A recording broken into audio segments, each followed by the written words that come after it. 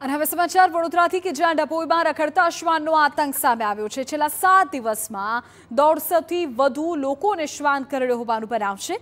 સરકારી હોસ્પિટલમાં ઇન્જેક્શન લગાવવા માટે હવે લોકોની લાઈનો લાગી છે. રસ્તા ઉપર ચાલતા જતા લોકો પર શ્વાન હુમલા કરે છે.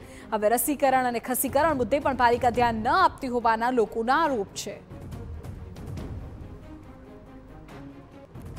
વધુ જાણકારી અમારા સંવાદદાતા હસન ખત્રી આપી રહ્યા છે. હસન શું બનાવ બન્યો છે? પૂરી વિગત કેટલા લોકો અને શ્વાન કરડ્યા હોવાના અહેવાલ છે અત્યારે?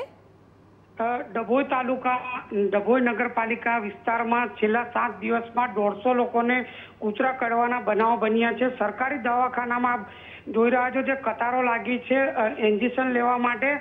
અને ઇન્જેક્શનો પૂરતા ના હોય, નગરપાલિકા વિસ્તારમાં સરકારી દવાખાનું આવતું હોય, જેના વહીવટ નગરપાલિકા કરતું હોય, પણ પૂરતું ઇન્જેક્શનો કૂતરા કરવાના ના હોય, તેને લઈને લોકોમાં રોષ જોવા મળી રહ્યો છે.